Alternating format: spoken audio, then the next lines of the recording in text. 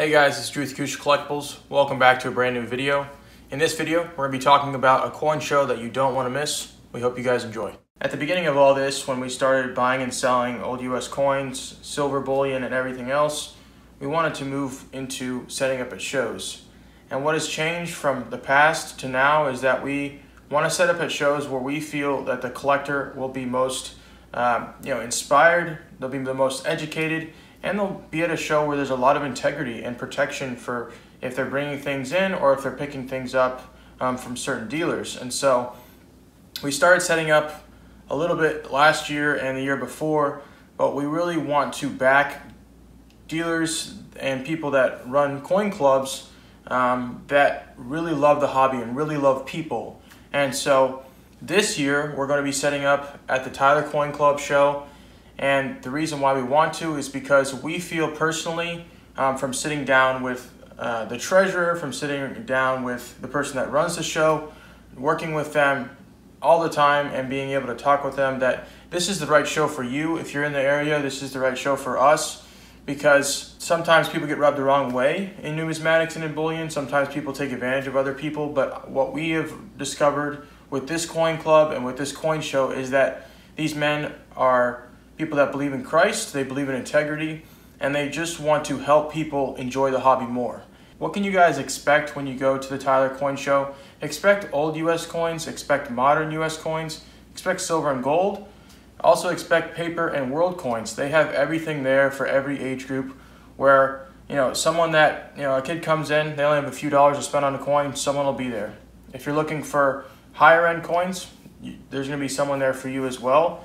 Um, and there also are people there that really like to learn about getting into bullion, maybe setting some silver bars back or gold, uh, you know, gold rounds back, Krugerrands, anything like that. So here's a few questions that people ask us every single time they want to go to the Tyler Coin Show.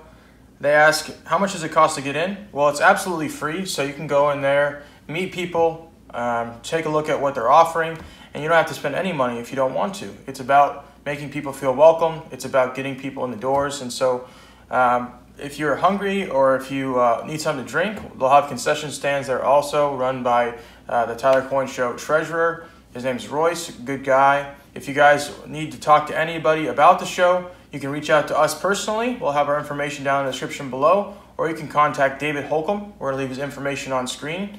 He can answer any question that you might have, and he can also you know, just give you insight if you want to ask you about certain coins or certain things that you might want to pick up at the show. We wanted to give you guys our personal experience. What did we feel when we went to previous shows in years past?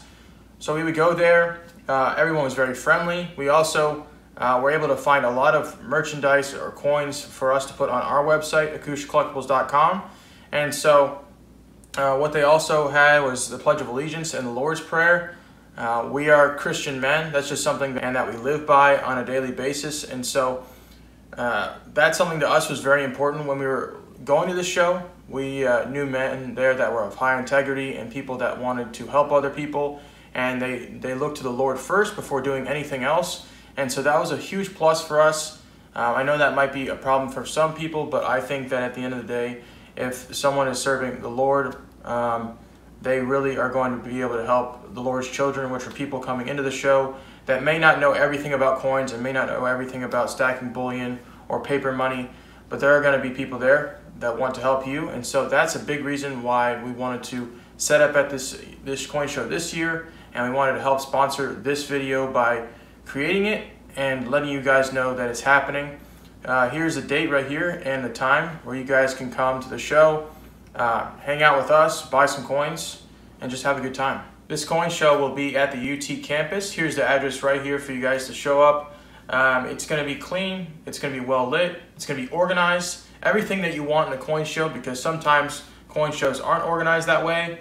And so there will also be door prizes when you guys enter the show and just make sure to stick around, hang out with us, have a good time. We're going to be throwing in some sweatshirts and possibly some shirts that we created ourselves so you guys can come home with some cool merch. We say all that to say this. We're setting up at the show because we believe that these dealers and the people that we work with on a yearly basis want to not only make money and help you guys out, but they want to grow the hobby.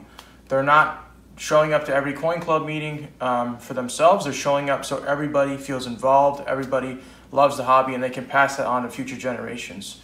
We don't want to go to shows where people take all the money and they run. If they're setting up a coin show, we want to go to coin shows where it's fully reinvested, like it is at the Tyler Coin Show, where um, you know they're putting every dollar back into advertising. They're putting every dollar into making sure you have a good time, and and that for us speaks volumes, and that's why we're going to support them.